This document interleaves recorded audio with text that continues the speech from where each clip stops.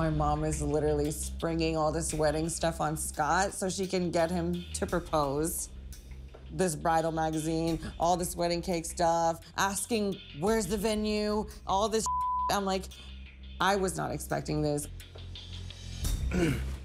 Your mom paid for the date, planned it to get me here to choose wedding stuff for a wedding that I don't even know about.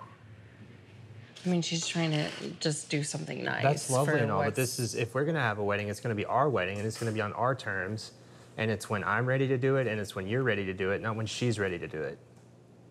In other people's lives, this is not a thing. So when I handed Scott the wedding menu, I could tell Scott was a little bit taken aback. Um, he kind of looked at Sunnie like, what's going on here? And so I kind of took a step back. Like if he's genuinely not ready to be married, that's a huge decision and that could really that could scare somebody off like 100%. I think I'm being treated on a date, but I'm being surprised with a wedding.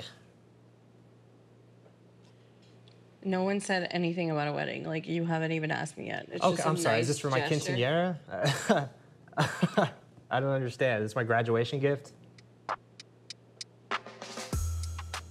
I mean, I don't know why like wedding stuff scares you so much. It's not about that. It doesn't scare me. This is just not my wedding. This is your mom's wedding. This is not. Nobody's marrying my mom. I mean, are you sure about that?